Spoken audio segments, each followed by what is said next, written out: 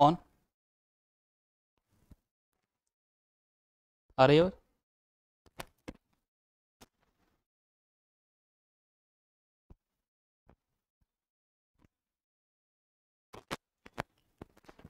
नमस्कार, मेरा नाम है भूपेंद्र और आप देख रहे हैं Plutus academy. The Hindu newspaper को हम एनालाइज करेंगे। जो भी हमारे लिए काम का है, उसे हम देखेंगे। और जो एग्ज़ाम पे पॉइंट ऑफ़ व्यू से जो भी एग्ज़ाम्स में क्वेश्चंस बन सकते हैं या as a citizen aware citizen हमको जानने चाहिए जिनको हमें पता होना चाहिए कि हमारे आसपास चल क्या रहा है, हमारे देश और दुनिया में क्या चल रहा है, वो चीज़ें आपको पता होनी चाहिए एज ए सिटीजन भी। चलिए देखते हैं क्या है हमारे लिए काम का।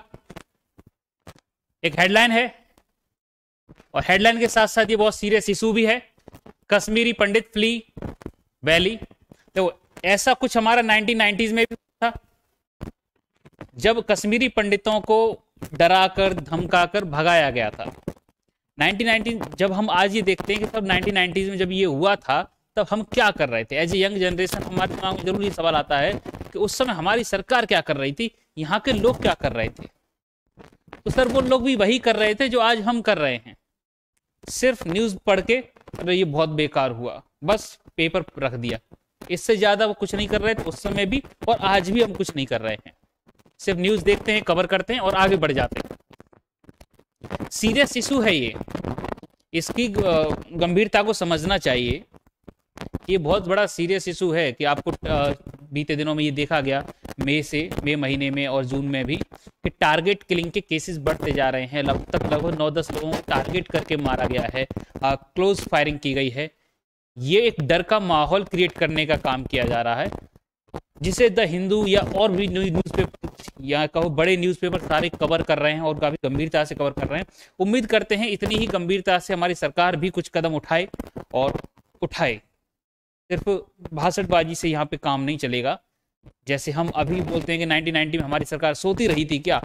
तो आज से आने वाले 10-20 सालों के बाद भी जो लोग, यंग जनरेशन होगी, वो बोलेगी कि सर 2022 में हमारी सरकार सो रही थी क्या? तो सेम क्वेश्चन सेम टिप्पणी का सामना करना पड़ेगा आज की सरकार को भी। तो मेरी रिक्वेस्ट है सरकार से अगर कोई बात पहुँच सकती है सरकार तक तो एटलीस्ट इस मुद्दे को सीरियसली लीजिए इस पर कोई भी मज़ाक नहीं, कोई भी पॉलिटिक्स नहीं।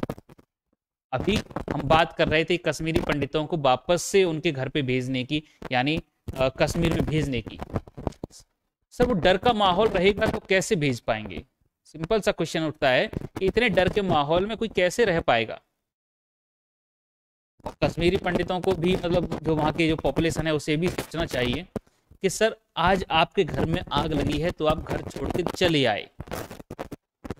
सर, घर छोड़ के चले आना कोई सॉल्यूशन नहीं होता है। आपको वहाँ रुकना पड़ेगा और उन चीज़ों का सामना करना पड़ेगा, जवाब देना पड़ेगा, हालातों से लड़ना पड़ेगा। हमारे घर में आग लगी है तो आग हम ही बुझाएँगे। ऐसा नहीं है कि अपना सामान उठा के दूसरे घर में शिफ्ट हो लेंगे वहाँ भी आग लगेगी, कभी ना कभी, वहाँ से भी शिफ्ट होते रहेंगे तो ये शिफ्ट होने का काम चलता रहेगा क्या? नहीं एटलीस्ट जिस भाषा में वो लोग समझते हैं उस भाषा में वो लोग उन्हें लगता है कि हम डरा सकते हैं धपका सकते हैं। मैं ये नहीं कहता कि आप भी वही कीजिए, लेकिन विरोध ज़रूर कीजिए उनके इस, उनकी यही तो है, यही तो उनका टारगेट है कि कैसे आपको डराया जाए, और आप डर जाते हैं। जब आप डर जाते हैं तो उनका जो मोटिव है वो सक्सेस हो जाता है। वो यही तो चाहते हैं कि वहाँ से लोग भाग के जाएँ। पाकिस्तान यही तो चाहता है कि कश्मीर से हिंदू हटा दिए जाएँ, सिर्फ़ मुस्लिम मुस्लिम्स रहें। यही तो चाहता है। मैं कोई समुदाय के खिलाफ नहीं बोल रहा हूँ, लेकिन जो है वो सामने तो आपको दिखाई दे रहा है। ठीक, अब इसमें कोई भी ह्यूमन राइट का कोई भी बंदा खड़ा नहीं होगा कि भाई ये तो ह्यूमन राइट का वॉयलेशन है, डर का माहौल है। हाँ अगर नेट बंद रहता है तो ज़रूर इंटरनेशनल लेवल पर वॉइस उठाई जाएगी भाई अभिव्यक्ति की आज़ादी है, ये है, वो है वहाँ पे लोग सुरक्षित नहीं हैं। आर्म फोर्सेस आर्मी वहाँ पर देखो कितनी बुरी तरह से लोगों के साथ बर्ताव कर रही। तब ज़रूर ह्यूमन राइट्स के लोग खड़े हो जाएँगे, है ना? सेकुलरिज्म के लोग खड़े हो जाएँगे। इस मुद्दे पर कोई बयान नहीं है किसी का। कोई लेख नहीं छपता, कोई इंटरनेशनल टिप्पणी नहीं होती। इवन यूनाइटेड नेशन वाले, माफ़ी चाहूँगा, वो भी टिप्पणी कर देते हैं यूएस भी टिप्पणी कर देता है, लेकिन इस मुद्दे पर कोई नहीं बोलता। ये बायस नज़रिया जब तक रहेगा, तब तक कोई सोल्यूशन नहीं निकलना है।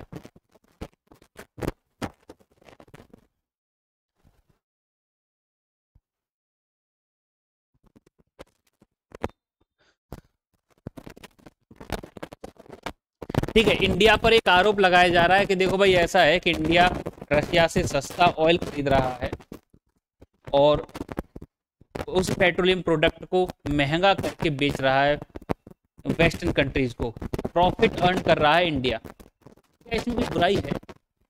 हम सस्ता खरीद रहे हैं और मार्केट प्राइसेस पर बेच रहे हैं। ये हमारा टैलेंट है कि हम सस्ता खरीद रहे हैं। इसमें बुराई क्या है? एक सिंपल सा लॉजिक बताओ कि सर, ये कोई ह्यूमैनिटेरियन मेजर तो है नहीं कि भैया वो तो कोविड की दवा हमको महँगे में बेच रहे हैं। इवन बहुत सी कंट्रीज़ ने बेची भी हैं।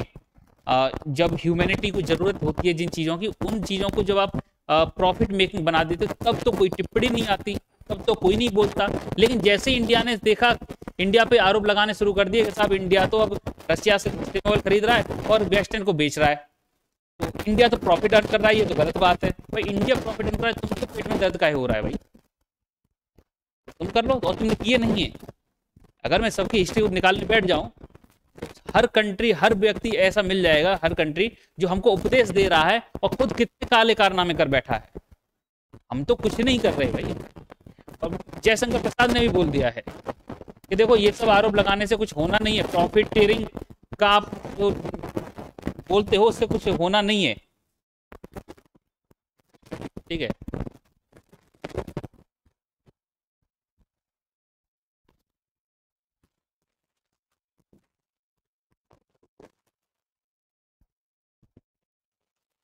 इन्होंने बोला कि देखो ऐसे आरोप लगाने से कुछ होगा नहीं ऐसे आरोप बिल्कुल नॉनसेंस हैं this is a nonsense thing और ट्रांसशिपमेंट या इस जैसा कुछ हम कर नहीं रहे हैं।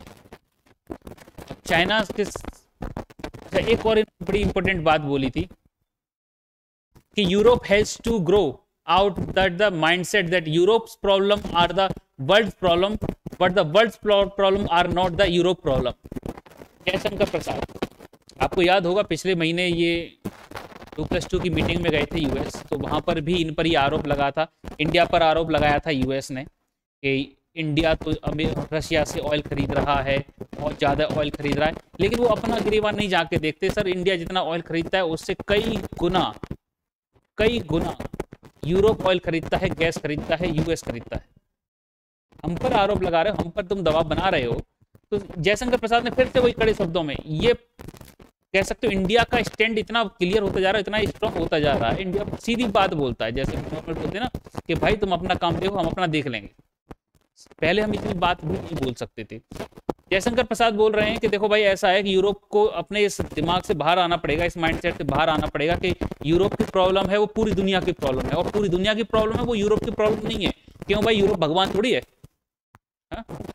यूरोप में कोई क्राइसिस चल रहा है तो उसका मतलब ये थोड़ी है पूरी दुनिया में क्राइसिस चलेगा। हाँ इंडिया को कंसर्न होता है सर इंडिया को फेस करने पड़ते हैं चाइना थ्रेट फेस करने पड़ते हैं और डिफिकल्टीज हैं। तब तो यूरोप नहीं तिल मिलाता हाँ जब यूरोप पर हल्की सी मार पड़ने लगे तो तिल मिलाना शुरू कर दोगे, तब बयानबाजी करने लोगे। मैं साथ हूँ, ऐसा विदेश मंत्री हमारे पास होना चाहिए। और इतनी खरता से बात करना that is very impressive thing that is very impressive thing उन्होंने बोल दिया कि साहब इस माइंड सेट से यूरोप को बाहर आना चाहिए। uh, बोला ही added the in response to the question that compared India the Indo Pacific and challenge from China with the situation of Europe उन्होंने कहा है जो यूरोप में सिचुएशन है ना वो बहुत कम है बजाय इंडिया फेस करता है चाइना के साथ या इंडो पैसिफिक सिचुएशन है वो फेस करते हैं कंट्रीज़ उसके मुकाबले यूरोप की सिचुएशन कुछ भी नहीं है कुछ भी नहीं हुआ है यूरोप में उसके मुकाबले तो। ये आरोप इंडिया पर क्यों लगे हैं कि इंडिया एक प्रॉफिटेरिंग कंट्री बनता जा रहा है? ये प्रॉफिट कमा रहा है। एक दो इंटरनेशनल न्यूज़ एजेंसीज हैं। उन्होंने कुछ आरोप लगाया, कुछ डेटा दिया है कि भाई ऐसा है कि जैसे कैपलर है। कैपलर एक एजेंसी है, जिसने ये डेटा दिया है। जिसके आधार पर ये कहा गया है कि इंडिया रशिया से नौ गुना ज़्यादा अब ऑयल खरीदने लगा है। इंडिया रशिया से नौ गुना ज़्यादा ऑयल खरीदने लगा है। और ये काफ़ी कई गुना ये बढ़ चुका है।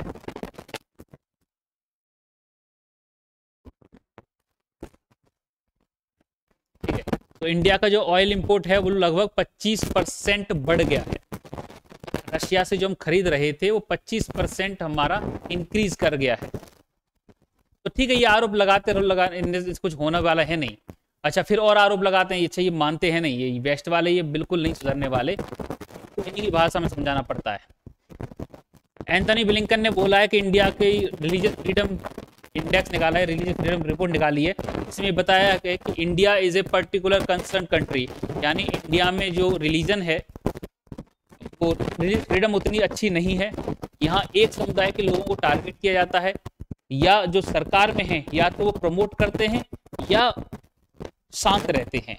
एक्शन नहीं लेते एक तरह से इंडियन, इंडिया को टारगेट करने की बात की रिलीजियस फ्रीडम पर। तो इंडिया ने भी पलट के जवाब दिया है। अब इंडिया तो चुप रहने वाला नहीं है। इंडिया ने बोल दिया कि देखो भाई ऐसा है कि आप इंटरनेशनल लेवल पर वोट बैंक की राजनीति तो करो मत। ये बड़ी गंदी प्रैक्टिस है। ठीक है इंटरनेशनल रिलेशन में आप वोट बैंक की राजनीति कर रहे हो। ये इंडिया की तरफ़ से जवाब गया है।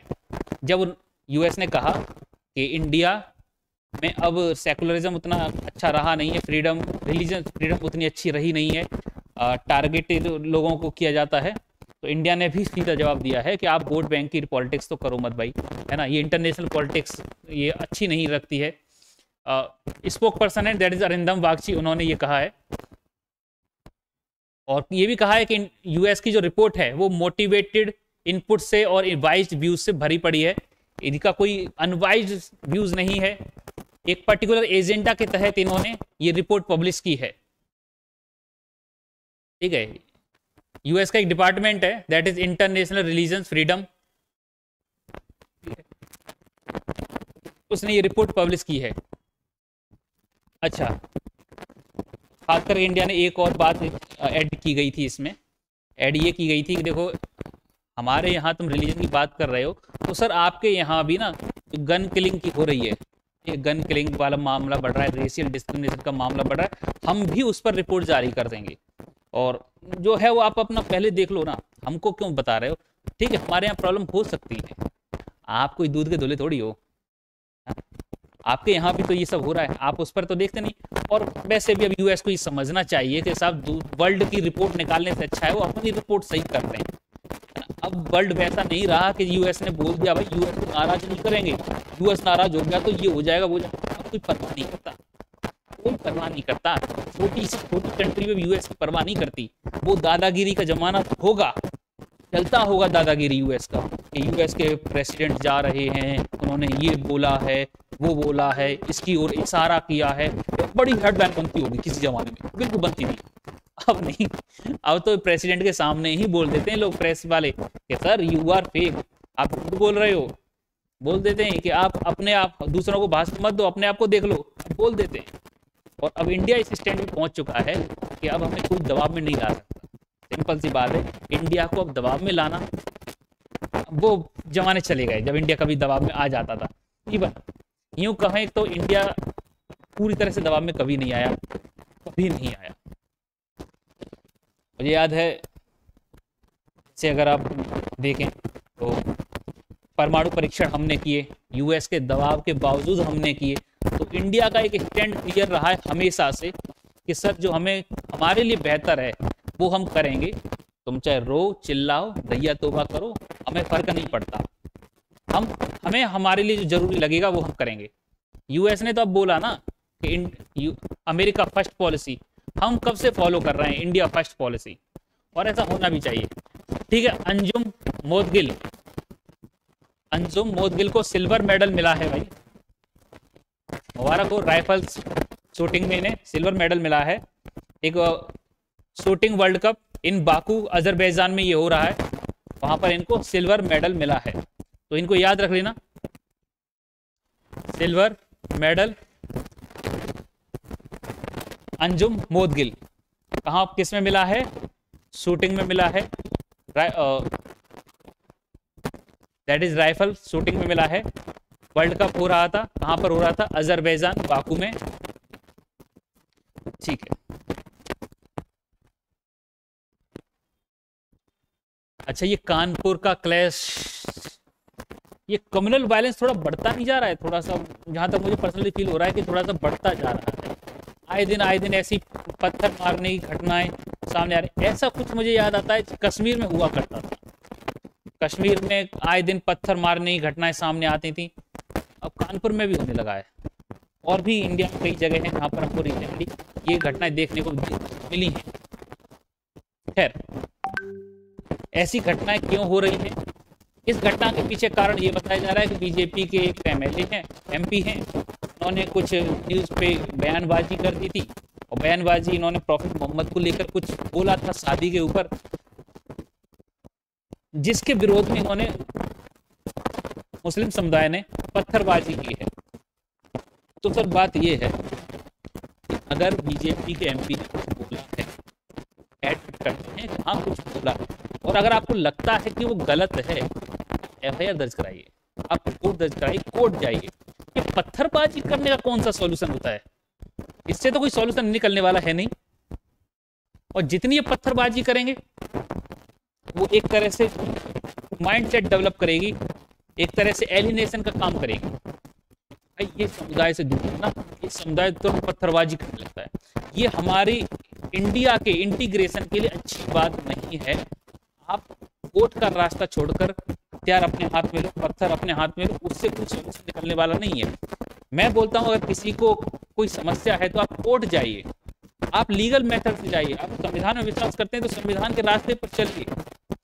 पत्थरबाजी का कोई लॉजिक बनता नहीं है। पुलिस को लाठीचार्ज भी करनी पड़ेगी। कोई भी समुदाय हो ये तो चलो कोई भी है आ, कोई भी समुदाय हो उसे कुछ भी ऐसे काम करने से पहले एटलीस्ट अथॉरिटी से बात करनी चाहिए कोर्ट के दरवाजे पर जाना चाहिए और जो भी कॉन्स्टिट्यूशन बोलता है उसके अनुसार काम करना चाहिए। संविधान सबके लिए बराबर है। ये बात समझ लो।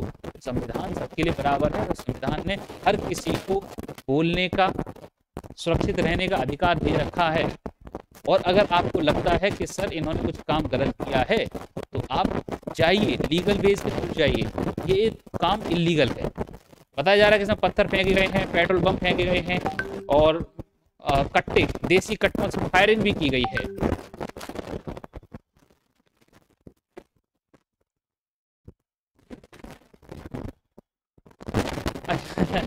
देखो आ, एक न्यूज़ है पता नहीं ये किस तरह से समझनी चाहिए लेकिन ये है इसको समझो। वेस्ट बंगाल के टेंथ के रिज़ल्ट आए हैं और टेंथ के रिज़ल्ट में ये देखा गया कि जो गर्ल्स हैं गर्ल्स का परसेंटेज ज़्यादा है और लगभग six point two seven lakh girls ने पार्टिसिपेट किया था एग्जामिनेशन में और पाँच लाख लड़कों ने पार्टिसिपेट किया था एग्ज़ाम में। गर्ल्स की संख्या यहाँ पे ज़्यादा है और बॉयज़ की संख्या यहाँ पे कम है। पास फेल की बात बात, बाद में करेंगे। ये देखते हैं कि गर्ल्स ज़्यादा पढ़ रही हैं और बॉयज़ कम पढ़ रहे हैं। हालाँकि जेंडर गैप बढ़ता जा रहा है। जब हम जेंडर गैप के विरोध में हैं कि जेंडर गैप नहीं होना चाहिए, या वो तो बहुत रेयरली बहुत कम होना चाहिए लड़के लड़कियों बराबर ही होने चाहिए। ठीक है? लड़कियाँ पढ़ रही हैं, लड़के नहीं पढ़ रहे हैं। क्यों नहीं पढ़ रहे हैं भाई लड़के? लड़कों को भी पढ़ना चाहिए। कारण ये बताया जा रहा है कि साहब जो लड़के होते हैं ना, क्योंकि वेस्ट बंगाल साइड में ऐसा जो इस रिपोर्ट में बताया गया है कि गरीबी के कारण अनएम्प्लॉयमेंट के कारण वाले पैसा खर्च नहीं कर सकते और लड़कों को मजबूरन काम करना पड़ता है। टेंथ क्लास बहुत से नहीं अटेम्प्ट करते हैं, बीच में ही स्कूल ड्रॉप आउट कर देते हैं और अपने काम में लग जाते हैं लेबर का काम करने लगते हैं। अगर ऐसा है, वास्तव में ये हिंदुस्तान के भविष्य के लिए बहुत चिंता का विषय है कि हमारे स्टूडेंट्स टेंथ क्लास तक भी परस्यू नहीं कर पा रहे हैं टेंथ क्लास तक भी स्कूल को अटेंड नहीं कर पा रहे हैं। ये बड़ी कह सकते इस पर चिंताजनक बात है मैटर ऑफ़ कंसर्न है। ये बात कही गई है इसमें। ये देखते हुए अच्छा लगता है कि हाँ ठीक है लड़कियाँ पढ़ रही हैं।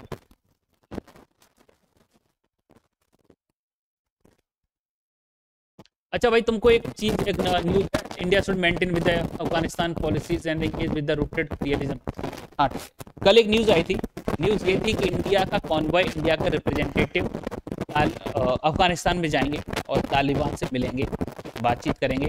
वहाँ के कुछ एरियाज़ हैं इंडियन डेवलपमेंट यहाँ पे इंडिया ने डेवलपमेंट किया है उन साइट्स पर जाएँगे हॉस्पिटल्स में जाएँगे स्कूल में जाएँगे, वहाँ लोगों से मिलेंगे, बातचीत करेंगे और सिचुएशन को समझने की कोशिश करेंगे। प्लस इंडिया ने जो भी सामान मतलब पहुँचाया है, उसको निरीक्षण निरीक्षण करेंगे कि वास्तव में ये लोगों तक पहुँच पाया है या नहीं पहुँच पाया, हम जो मदद भेज रहे हैं। ठीक है, ये अच्छी बात है। अब यहाँ पे ये बात की गई है क्या हमें तालिबान से बातचीत करनी चाहिए। पिछले साल जब 19 सॉरी 20 21 में 2021 में, अगस्त महीने में जब तालिबान ने ओवरटेक किया था अफ़गानिस्तान को, उसके बाद से लगातार हम बैकडोर चैनल्स का इस्तेमाल करते आए हैं और तालिबान से लगातार बातचीत करते आए हैं। ऑफिशियली कभी बात नहीं किए हैं, लेकिन बैकडोर चैनल से हम ये बात करते रहे हैं, उनके संपर्क में ज़रूर रहे ओनली कभी हम तालिबान का सपोर्ट नहीं किया। तालिबान को हमेशा कंडेम किया है। और भी जो चीज़ें हैं, जैसे ह्यूमन राइट का वॉलेशन है उसको कंडेम किया है। हम तालिबान का कंडेम करते हैं, जब वो गर्ल्स पर रेस्ट्रिक्शन लगाते हैं, पढ़ने पर रेस्ट्रिक्शन लगाते हैं फ्रीडम उनके रेस्ट्रिक्शन लगाते हैं, उस पर हम कंडेम करते हैं। दैट्स अ थिंग ये आपको मन, समझना पड़ेगा। लेकिन सिर्फ़ तालिबान से ऑफिशियली बात नहीं कर रहे हैं, लेकिन कनेक्ट तो ज़रूर हैं। अब इसमें बात ये आती है, आपका व्यू पॉइंट हो सकता है कि क्या हमें तालिबान से बातचीत शुरू करनी चाहिए। एक ही व्यू पॉइंट हो सकता है। कि हम तालिबान से कुछ बातचीत करें और वहाँ पर जो लड़कियाँ हैं, वो वेमेंस हैं, उनके फ्रीडम की कुछ बात करें। पॉसिबिलिटीज़ है कि हम ऐसा कुछ करें। ये अपना अपना व्यू पॉइंट है। आप इसको किस नज़रिए से देखते हो, ये आपके ऊपर डिपेंड करता है। ठीक है? लेकिन यहाँ पे दो चीज़ें फंसती हैं कि हम हमेशा आतंकवाद के खिलाफ रहते हैं। हम दो टॉलरेंस पॉलिसीज़ फॉलो करते हैं आतंकवाद के खिलाफ और तालिबान प्योरली आतंकवाद एक तरफ़ हमारी हमारे एक तरफ़ हमें बात करना चाहिए। तो दो भी पॉइंट रखते हैं। डिपेंड करता है आप किसके साथ हो और आप इसे किस नज़रिए से देखते हो। अच्छा तालिबान ने ह्यूमन राइट कमीशन था उनका। अफ़गानिस्तान का वो भी ख़त्म कर दिया है। तो दैट्स ये समझना। ठीक है सुप्रीम कोर्ट की एक जजमेंट आया है और सुप्रीम कोर्ट के जजमेंट ने ये कहा है कि इको सेंसिटिव जोन देखो, जो हमारा बफर जोन होता है बायोस्फीयर रिज़र्व या कोई नेशनल पार्क उसमें एक बफर जोन होता है। सुप्रीम कोर्ट ने कहा है कि बफर जोन कम से कम एक किलोमीटर का होना चाहिए, जिसे हम बोलते हैं इको सेंसिटिव जोन यहाँ से भी नेशनल पार्क शुरू होगा। बाउंड्री से नेशनल पार्क शुरू हो रहा है। इस बाउंड्री से कम से कम एक किलोमीटर तक का एरिया रहना चाहिए। जो कि इको सेंसिटिव जोन रहे जहाँ पर आना जाना ना हो। इसे हम बफर जोन की तरह इस्तेमाल कर सकते हैं। एक गाइडलाइन है वैसे सुप्रीम कोर्ट की। जो कि एक तरह से शॉक एब्जॉर्बर का काम करेगा। दैट्स ऑल अबाउट आज की न्यूज़ हमारी कुछ यहीं तक है। लेंगे नेक्स्ट क्लास में। तब तक लोटस अकेडमी के साथ जुड़े रहिए। बहुत बहुत धन्यवाद।